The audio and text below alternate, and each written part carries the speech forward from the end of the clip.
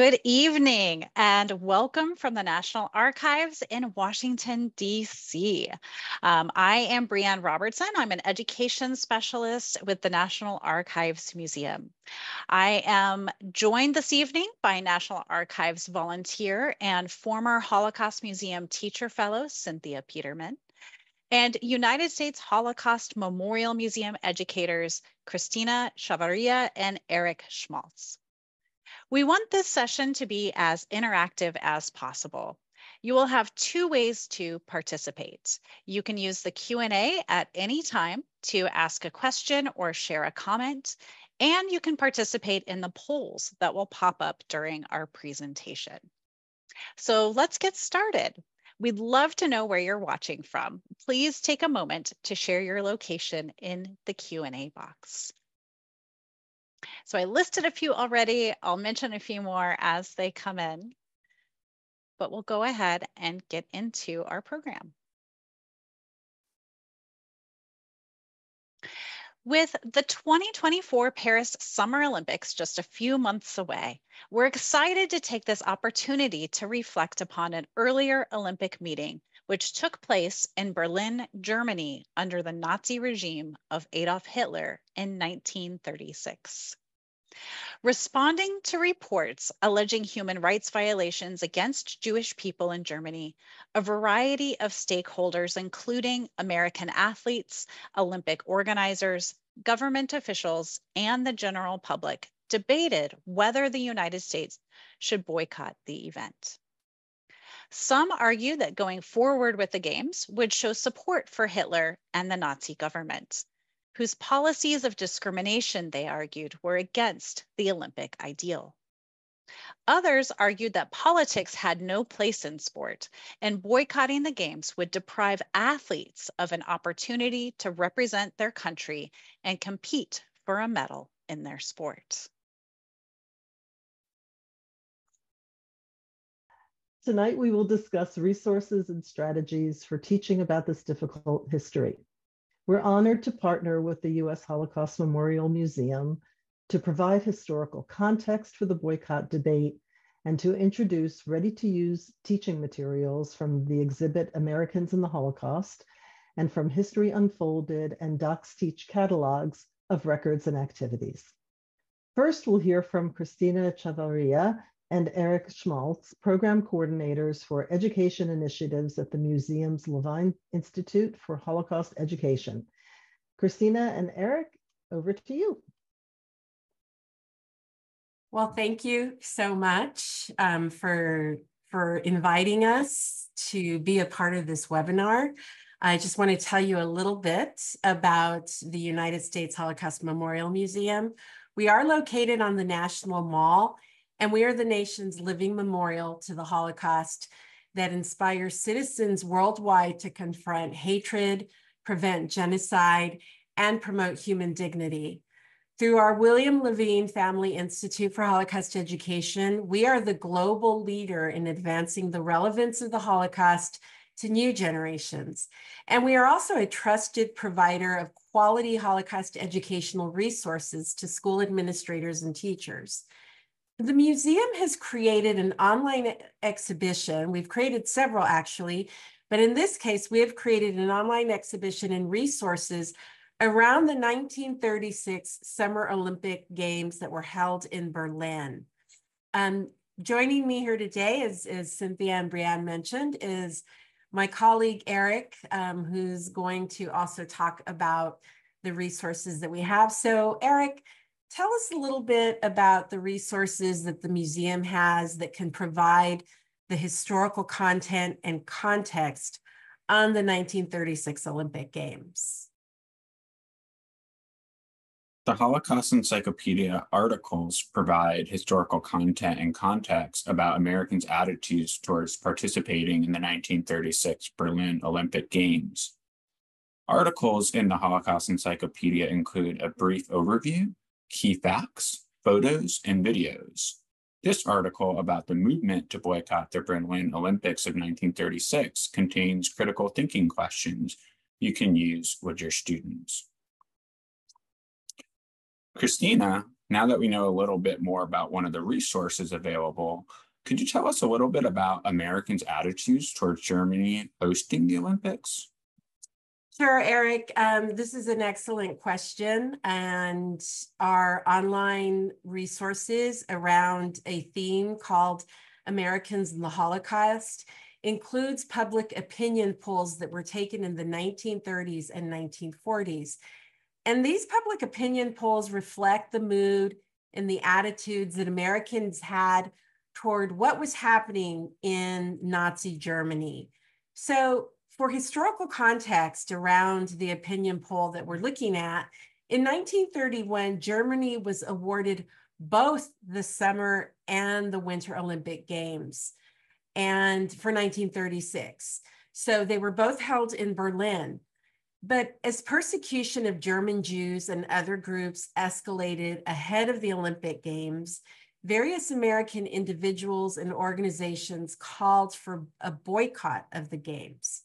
So this opinion poll that we see here that's taken in 1935, over a year before the games took place, asked Americans the questions that we see, the question that we see here. And you can see the response. About 57% of Americans polled felt that the US should not boycott the games.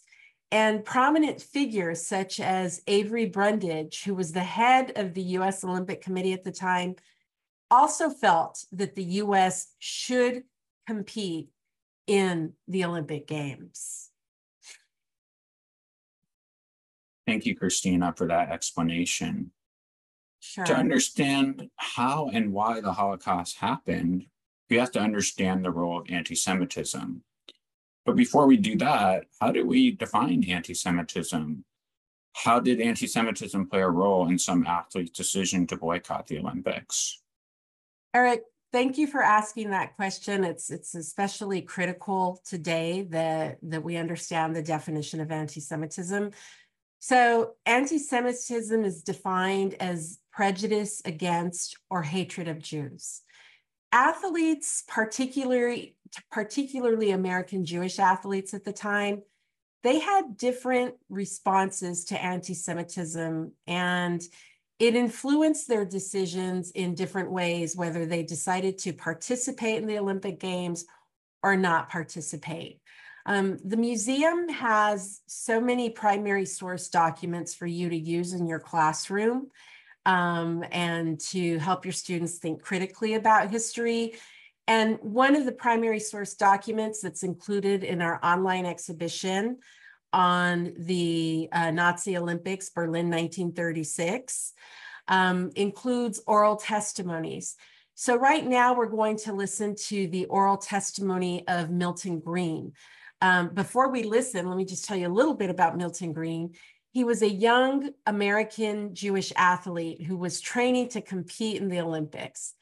And he was facing certain pressures. So as you listen to his testimony, think about the pressure that he faces and from whom, and think about in the influence of his response to the pressure. And then we are going to put a question um, right now in the chat. And as you're listening to his oral testimony, um, think about your response and please feel free to answer your response to this question. What role does anti-Semitism play in Milton Green's decision, um, his decision whether to whether he's going to participate or boycott? So um, let's go on ahead and listen to his testimony. Um, the online exhibition also has some testimonies from Black American athletes as well. Um, and it also has political cartoons and other primary sources. And we also provide the historical context. So whenever um, you're ready, whenever it's working, Breanne, thank you. And just also to note, we also have the, the transcript of his oral testimony as well. If students would like to read along with it, um, that's also very helpful for them too. I was always interested in athletics. And uh, I knew that I was uh, a pretty good athlete. I was captain of of all the track teams since I was in grammar school. I'd been always thinking and wanting to be in the Olympics. Of course, that was my hope to be in the Olympics. I had held the world's record in the high hurdles and uh, also the Harvard Yale record in the broad jump. And I was watching the performances all over the world. I knew that I'd qualified because uh, uh, I won the, the preliminary events. There was some publicity in the Boston papers about my roommate and me, Norman Cahners. There was a picture of us uh, winning uh, six gold medals in the Harvard Yale track meet. Rabbi Levi was the head of the Temple Israel in Boston, a Reformed temple, and he was well respected all over the United States. And he had seen the publicity and knew that we were potential Olympic candidates and said he'd like to talk to us. I was confirmed at Temple Israel, and uh, naturally, when they asked us to come, asked me and Norman Cahners, uh, we agreed to come. I didn't know what they were going to talk about, except that uh, something about the Olympics. They told us about the terrible things that were going on in Germany and the Nazi regime. And it was, it was a shocker to me and Norman. They suggested that uh, it might be a good idea for us not to go to the Olympics because of all this, these problems and to sort of register our objections and uh, sort of boycotting the uh, Olympics.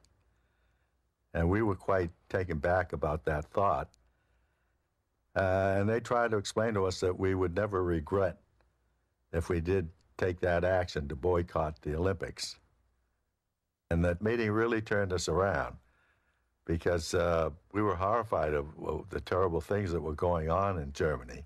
Both Cahners and I decided that we would boycott the Olympics. We just felt it was the right thing to do. I spoke to the track coach at Harvard. We told him about our intention. He tried to persuade us not to do it. He said he didn't think it would do much good and uh, uh, we should try to go to the uh, final tryouts and try to make the, the team. But uh, we didn't uh, want to do that. After we boycotted the Olympics, uh, no one came to speak to us or ask us uh, if we'd uh, make any statements about it. And uh, I don't think uh, anyone knew particularly that we did boycott it. I think back on making that decision and uh, whether I would have won a, a silver or gold or some sort of a medal. And every time I go to the Olympics, you know, I've been to three of them.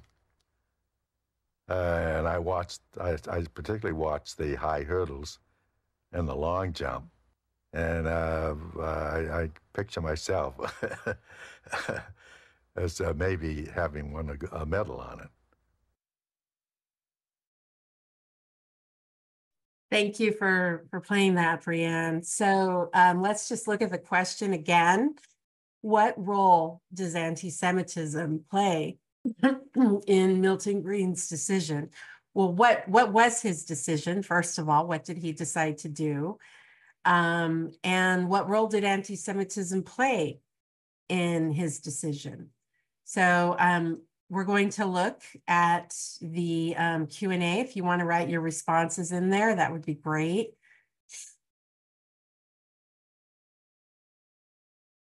Thinking about what, what anti-Semitism is and what role it plays in his decision-making.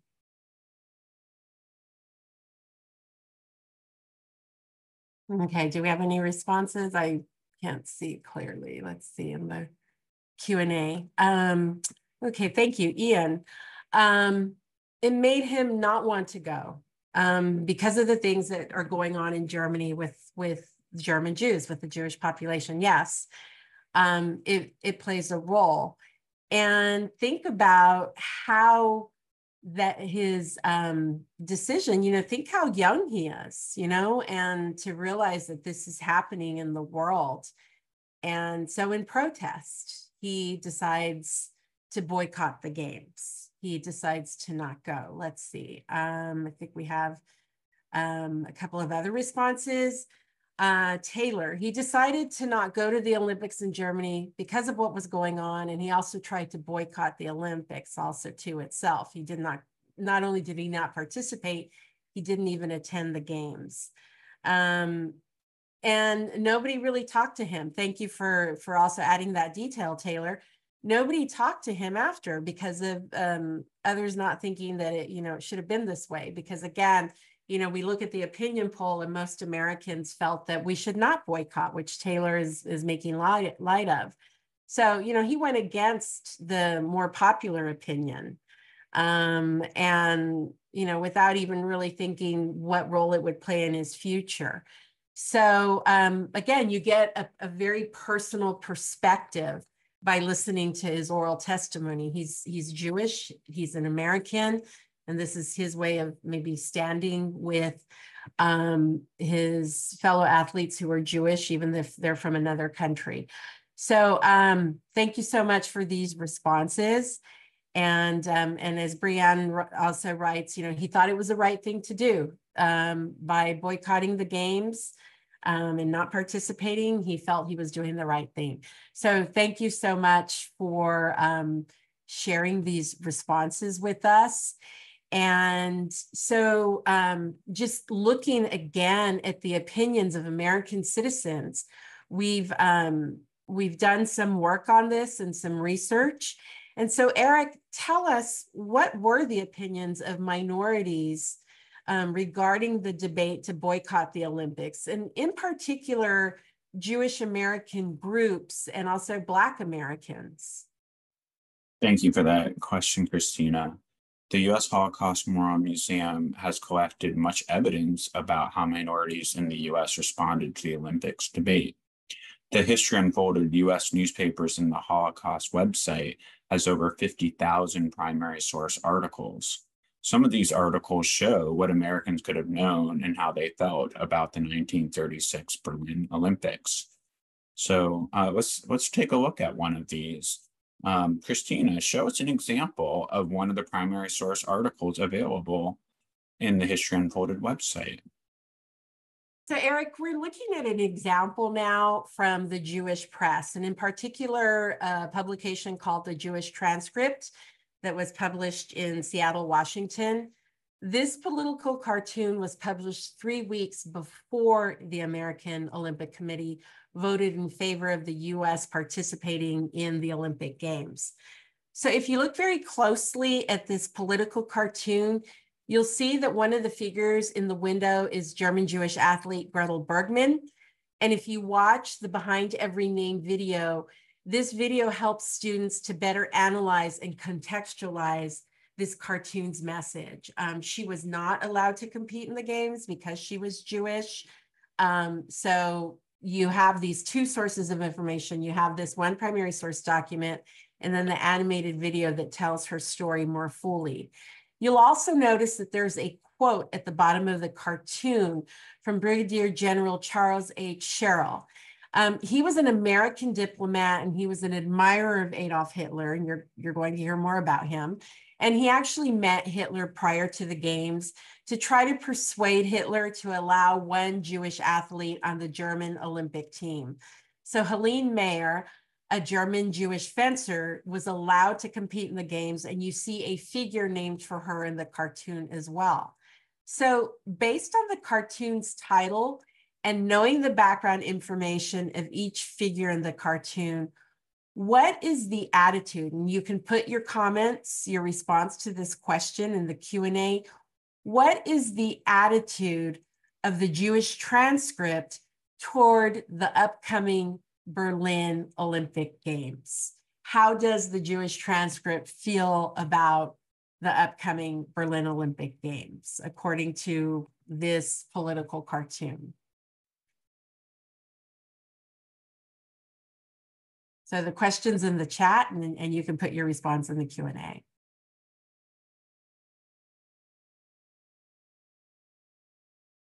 Okay, so um,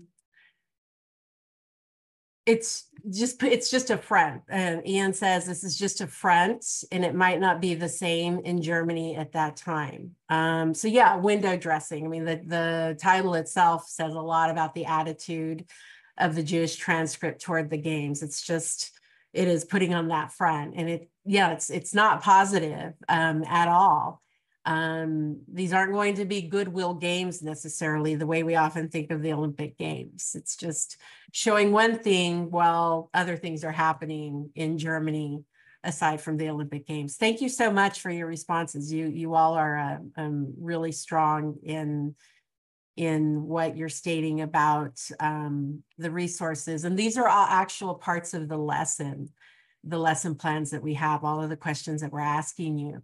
So History Unfolded. The History Unfolded website also contains articles from the Black American Press and a lesson plan that asks students to examine responses to the Holocaust among Black Americans. So Eric, tell us about this letter that appears in the lesson plan. Thank you, Christina. And um, before I do, I just think it's so powerful that we have uh, these documents where we can either hear or see uh, printed uh, the voices of these individuals um, as they're expressing their thoughts. And so um, this is one that really resonates with me. This is a letter printed in the Chicago Defender. Uh, the letter writer, Charles W. Harris of New York City, indicates that the, Jewish, the Jews are being mercilessly persecuted in Germany. Harris argues that participation in the Olympic Games would be an endorsement, endorsement of Nazism. The History Unfolded database also includes articles from Black Americans pointing out the hypocrisy of asking Black American athletes to participate in the Olympic Games while they experience racism and discrimination in the United States. We have many other resources available on our website to help teach about the 1936 Berlin Olympics. We've only had uh, an opportunity to share about just uh, some of them right now. We will provide links to uh, these additional resources in a follow-up email.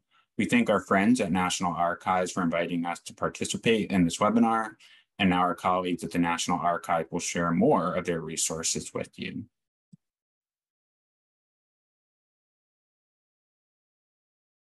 All right. So thanks to um, Christina and Eric for that terrific presentation. I'm showing you here, um, you know, one of those uh, articles from the Chicago Defender uh, that could be found on History Unfolded.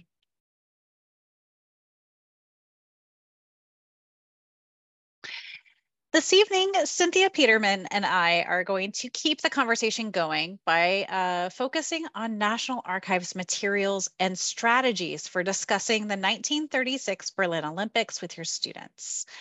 Archival records are great primary sources to introduce in your classroom, and there are different methods and depths of analysis on the grade depending on the grade and the abilities of your students.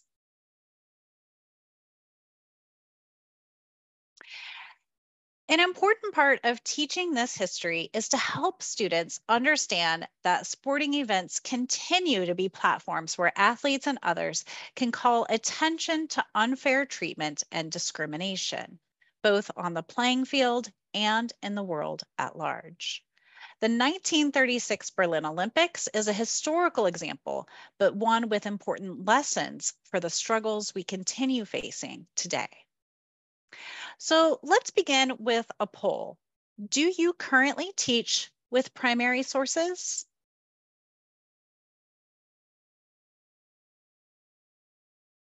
So I'll give you just a few seconds to go ahead and put in your answer for us. And it looks like, now some of you are still answering. So it looks like we are split about two thirds. We've got, um, you know, a Some of you do already um, teach with primary sources, but the majority of you don't yet. And so that is exciting because we are going to talk about ways to make you feel more comfortable doing that and to make it feel approachable and accessible for your students.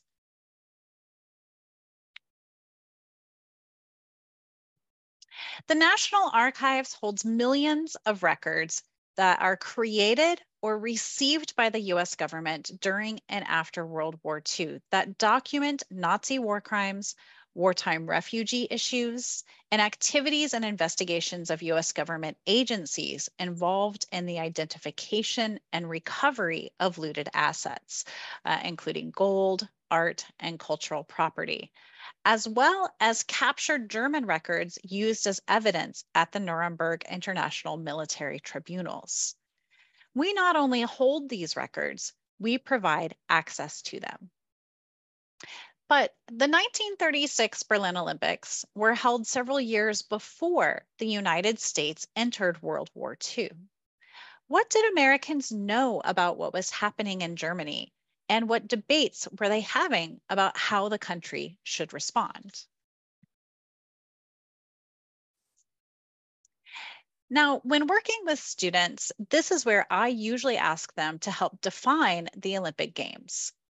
They usually state that it is a global sports competition. And with this shared understanding, we can begin to dig into the role that politics and diplomacy can have in such an event. So, how would one go about introducing the boycott debate to a classroom? As with anything, we need a hook. What part could connect with students? What is familiar to them about boycotts? At its basic level, a boycott is a form of protest.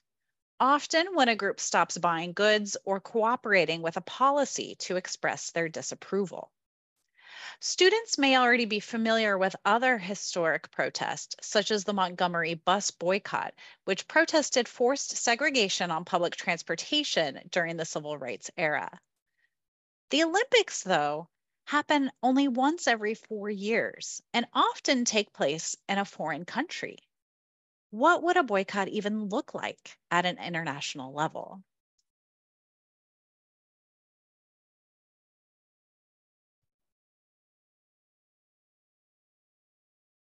The Olympics are important athletic events in which many different nations come together peacefully and in friendly competition. However, as early as 1933, with preparations underway for the Berlin Olympics, disturbing reports about the German Reich's unfair treatment of Jewish people had reached the United States. These included setting up the first concentration camp at Dachau, boycotting Jewish businesses, barring Jews from professional positions.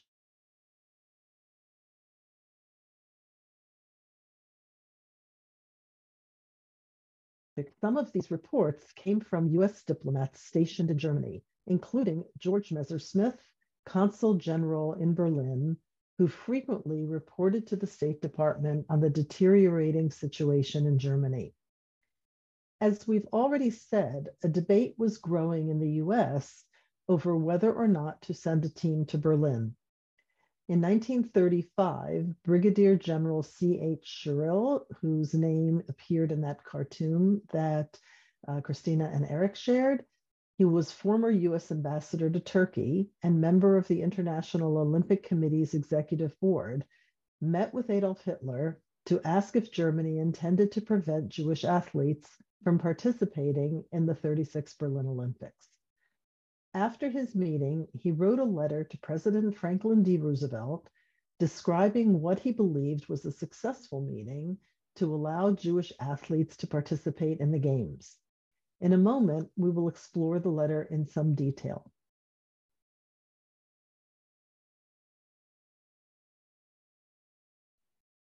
All right, so before we start analyzing this letter, we should take a minute to introduce you to the National Archives Document Analysis Worksheet. Using these classroom-ready PDFs will provide you with a tool for organizing your students' work with primary sources and enable you to provide formative assessment as they study. The National Archives provides primary source analysis worksheets on the agency website, archives.gov, and on DocsTeach. These printable graphic organizers are available for many types of primary sources and are presented on two levels, novice and advanced. So let's take a look at the worksheet for analyzing a written record, and we have a link for that dropped into the chat. As you can see, this worksheet leads the student through the process of analyzing a primary source document by starting with observations and moving on to increasingly interpretive and open-ended questions. Approaching a primary source in this manner enables students to base their interpretation on a foundation of factual evidence. Over time, applying the process as set out in the worksheet will help them to internalize a methodical approach to analysis that will serve them well when facing other primary sources. So Cynthia, back to you. Thank you, Breanne. Begin by asking students, oh, we need to see the, the next page. There we go. Uh, so this is the letter that uh, General Sherrill sent to um, President Roosevelt. So begin by asking students, what is the first thing you notice about this letter? Very confidential is handwritten at the top. Why might this letter be considered highly sensitive? When we look at the language here on the first page, we see that Hitler received Sherrill for a private meeting at his home in Munich in late August. This was not an official meeting. They did not meet in a government building, and Sherrill did not represent the US government. So, so what? What is Sherrill's goal or purpose for writing this, this letter? Here we need to pay special attention to the handwritten section at the end. The fact that it is handwritten is already an important clue, since it suggests that Sherrill added details after the main letter was typed. What new information is included about the 1936 Olympic Games? Upon his return to his home in France, Sherrill wrote privately to President Roosevelt's secretary, Marguerite LeHand, about the meeting, his impressions of Hitler, and his confidence in Hitler's promise to allow Jewish participation. You can see the reference in the excerpt on your screen. This letter is multiple pages, so for the purposes of this webinar, we took the liberty of highlighting a few quotes. Take a few seconds and read through them. How would you summarize Sherrill's overall opinion of Hitler? and what evidence does he provide to support his view? Feel free to type your responses in the Q&A box.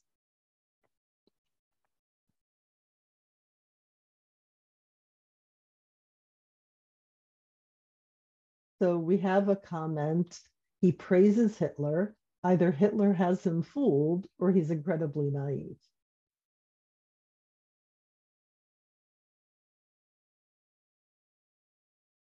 Well, it, that's an interesting comment because we're looking at this with modern eyes. And to see a letter that has such praise of Hitler seems a little shocking.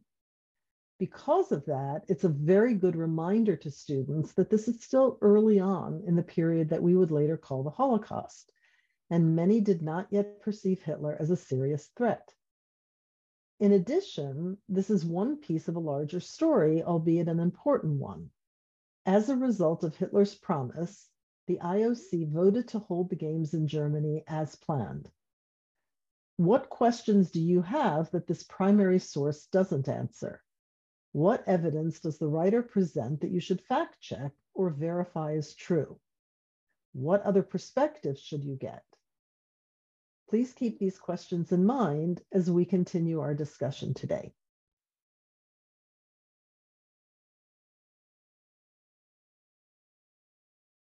So another terrific resource that I want to introduce this evening is DocsTeach. This is the National Archives online tool for teaching with documents.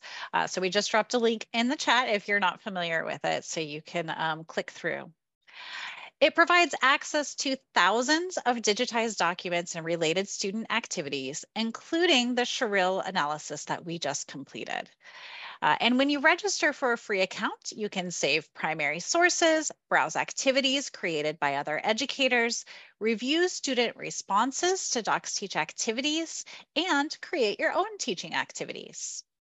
I encourage you to explore the different activities there. Some are designed to help students focus on the details. Others will help students make connections between documents. There's one for sequencing, one for thinking about how documents support different historical interpretations, and more. Some activities will work better shared on a smartboard or as a shared screen during a virtual class session. Others may work best assigned to students to complete on their own or in small groups. Oops.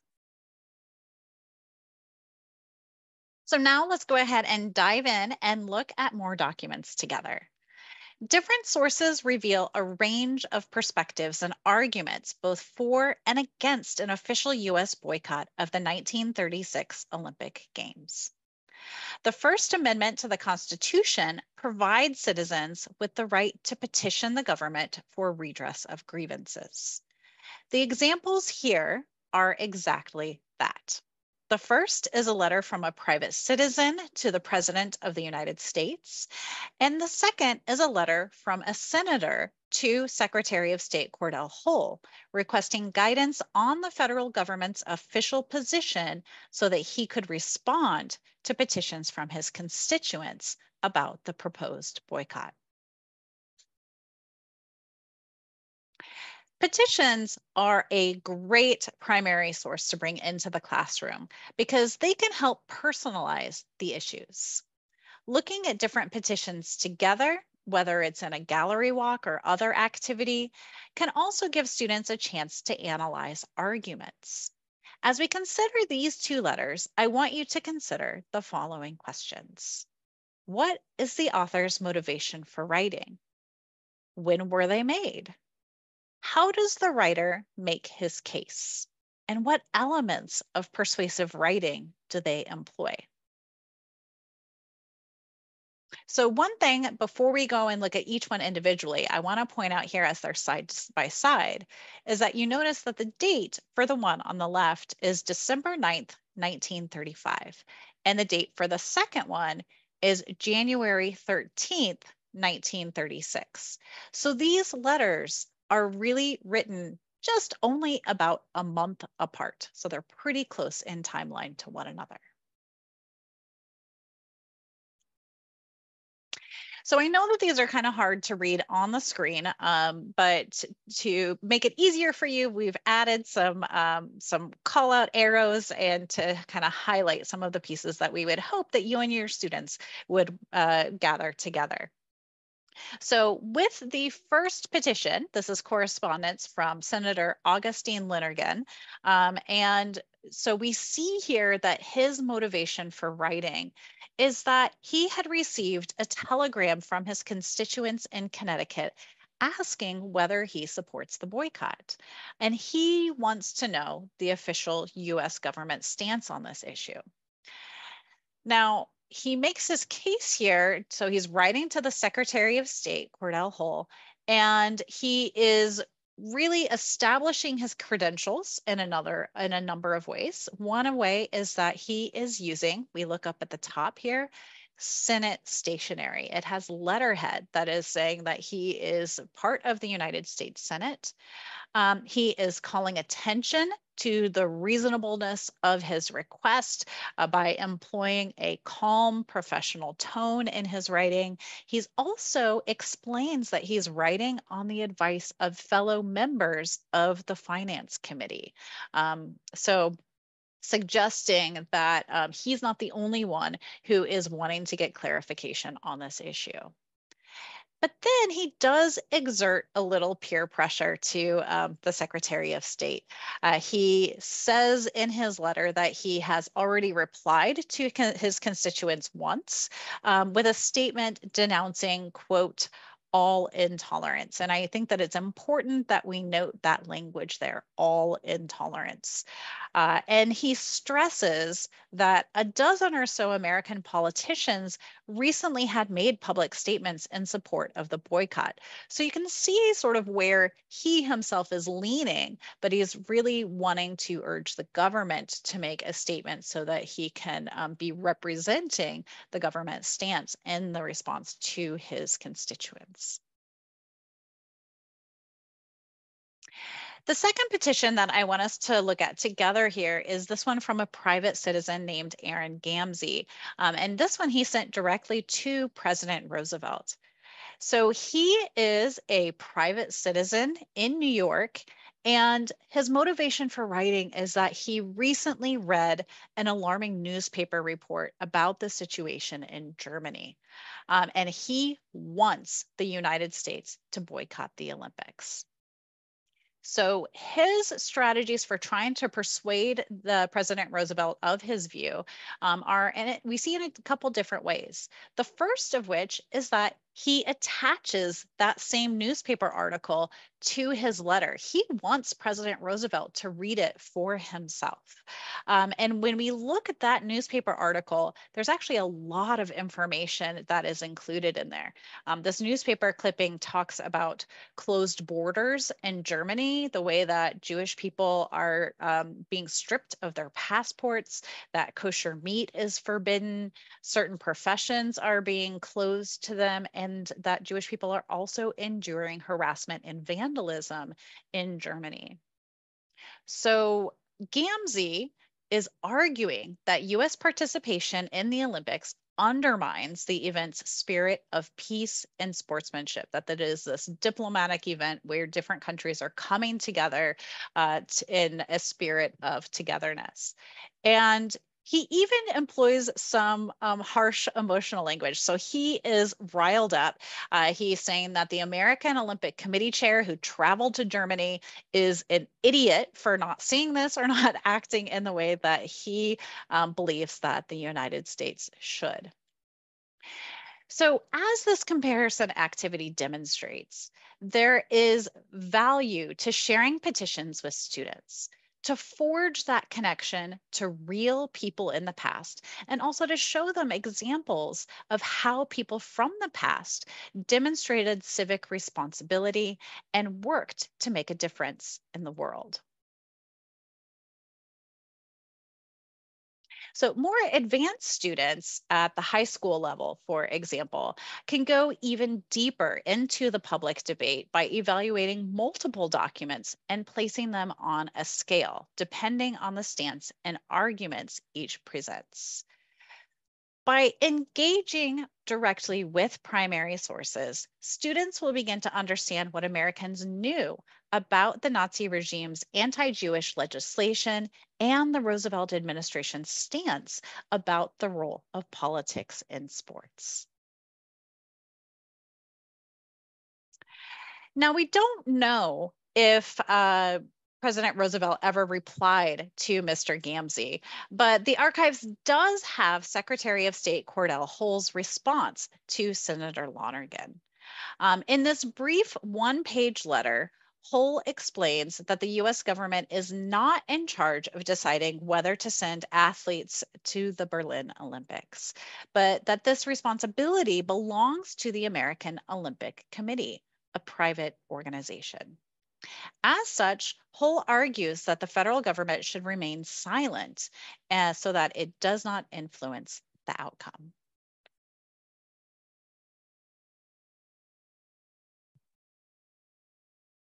Questions around sports and politics, and specifically whether the two should mix, is an issue that continues to inspire debate in the present day.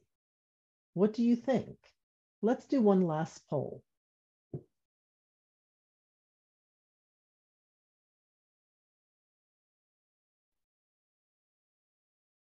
Maybe we'll give it another minute to see if others would like to participate.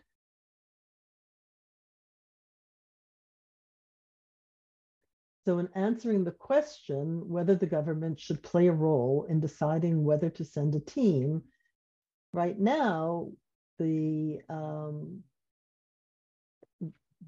more than 50% have answered yes, but it's fairly closely divided between those who think that the government should play a role and those who think the government should not play a role. So thank you for responding. The United States did send a team to the 1936 Berlin Olympics. While the success of the African American sprinter Jesse Owens during the Games contradicted the Nazi regime's stance of white supremacy, many viewed the Olympics as a huge propaganda win for Germany. The Roosevelt administration remained steadfast in its determination that the Olympics were about sports, not politics. As one possible extension activity, your class can analyze photographs from the 1936 Berlin Olympics and discuss the ways the Nazi regime exploited the event for propaganda purposes.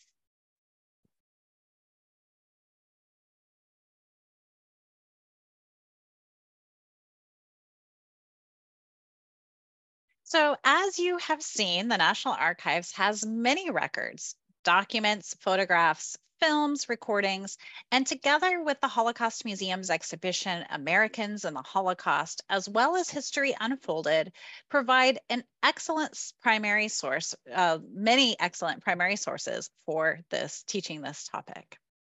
Um, we are so pleased that you have joined us for this webinar this evening, which is part of an ongoing partnership between the archives and the U.S. Holocaust Memorial Museum. Um, our contact information is included here on the screen. Uh, we hope that you'll stay connected with us and consider joining us again at one of our upcoming events. Uh, we'd now like to open the floor for questions from you. So um, I think at least one question I see already.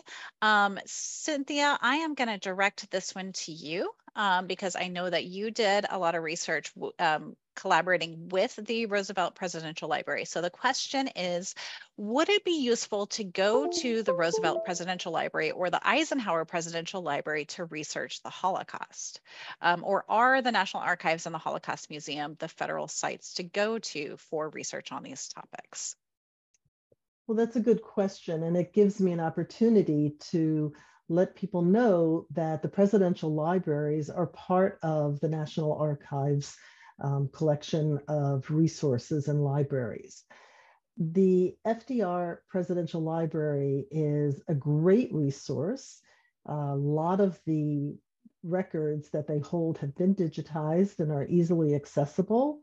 Uh, I would also encourage, if you're doing research on the era of the Holocaust, to consider not just the Roosevelt Library, but the Truman Library as well, which offers a tremendous number of original records in digitized format that you can use.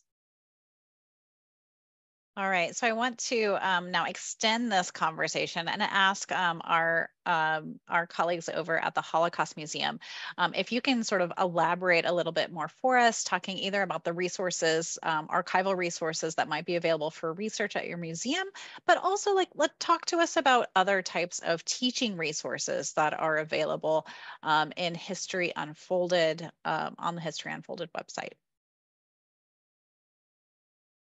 So thank you, Breanne. Um, I guess I would answer that question with um, that yes, it would be, uh, I think, useful to uh, certainly look at our the U.S. Holocaust Memorial Museum's uh, collections.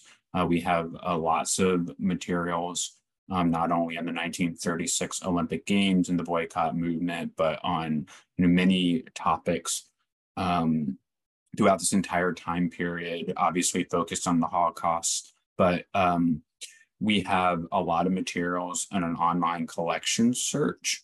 Uh, so that would be a great place to start. And um, you don't even necessarily have to leave wherever you're tuned in from as long as you have an internet connection.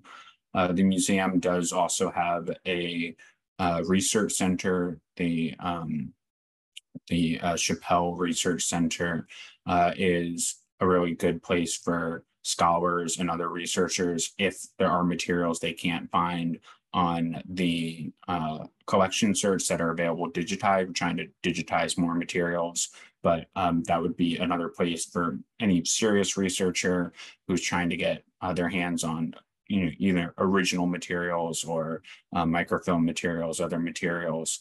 Uh, and then we have a, a library at the museum as well that uh, has some materials. So there's a lot of uh, different uh, options there. I mentioned the Holocaust Encyclopedia. So certainly our museum is going to be a great resource on this uh, topic and other uh, topics of the Holocaust.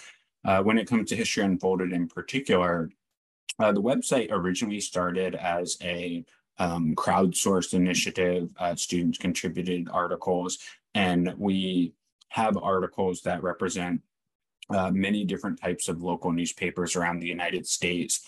A number of the articles are written in other languages besides English. Uh, so we have Spanish language articles, um, Italian and German. And so that's another, you know, really interesting opportunity there. And we have articles uh, from Christian newspapers, labor newspapers. I mentioned the, the Black Press articles, um, college and university newspapers. The website also uh, includes additional lesson plans, uh, one looking at how young people responded to the events of the Holocaust, in particular, college newspapers and uh, reactions by individuals on college campuses. Uh, one of the other lesson plans looks at reporting on the uh, MS St. Louis, uh, which was a, a ship um, that had uh, German Jewish refugees and came to the Americas um, and um, was not able to embark uh, the passengers in Cuba and went back to Europe. Uh, we have a lesson plan that looks at how three different Spanish language newspapers reported on those events. And um, so it's fully bilingual as well. And uh, some of the additional teaching resources on the website include a click through guide of how to read a newspaper from the 1930s and 40s, because we found in creating that History Unfolded project that many students are not familiar with the layout of newspapers from the time period. And that's been a really popular resource. And one of our most recent uh, resources we created is a teaching guide for uh, short activities that teachers can use, uh, introducing uh, either primary source newspaper analysis or comparative analysis or understanding historical context uh, using these newspaper articles from the time period. So I definitely encourage people to check out the website and go to the teaching resources section. Um, for some reason, I don't know why I'm not showing up, but um, I am here. And I just wanted to add to Eric, um, to what he shared. We have several introductory lesson plans. If you are new to teaching about the Holocaust, we have lesson plans that, that give you a, a great introduction. If you only have one day, we have a lesson plan for that. If you have two to four days, we also have lesson plans for that. We also have um, lesson plans on using diaries, how to use diaries to teach about the Holocaust. We have a guide for literature. We also have a lesson plan that looks at the challenges of finding a place of refuge. And it uses many primary source documents, the documents that you need to come to the United States and documentation that you needed to gather if you wanted to leave Germany. Um, I also um, want to point out that we have interactive timeline activity lesson plans. We have a general timeline activity of the Holocaust. We have a timeline for Anne Frank. We know, you know, Anne Frank is one of the most popular, her diary is one of the most popular texts to use. Um, and I also wanted to mention if you, if you um, are looking for teacher professional development in the summer, we have the Belfer National Conference. This conference is a three day asynchronous conference that is free and you can watch it at any time um, because it is asynchronous. You have up to six months to watch it. Um, we provide uh, continuing education units. Uh, we're certified, I believe, in all 50 states plus some of the territories. And um, we will be introducing new resources at the Belfer conference. And um, so, yeah, I think my room is too dark. It got very dark in here. Um, but anyway, um, yeah, I'm, i apologize that you cannot see me, but um, we will share that information to send the link to the Belfer National Conference for you to um, take part in it if you're looking for more teacher professional development. Wonderful. Thank you so much. Um, I think, you know, one thing that I want to highlight before we uh, close out our conversation for tonight, um, this evening we really focused on the 1936 Berlin Olympics, but um, obviously the exhibit that we um, were pairing archives documents and the Holocaust Museum um, is Americans and the Holocaust. So can you just speak briefly about what other topics are covered in that exhibit?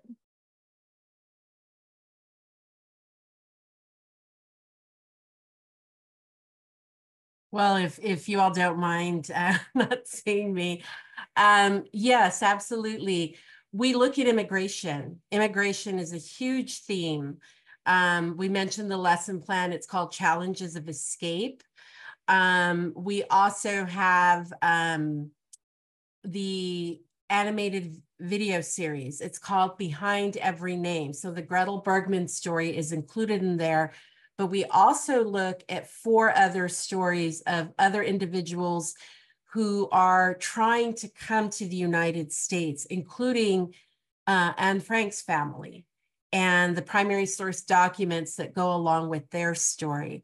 We also look at the debates to enter the war. Should we enter the war or not? And of course, that debate ends on December 7th of 1941. Um, and we also look at the United States responses, governmental responses as well.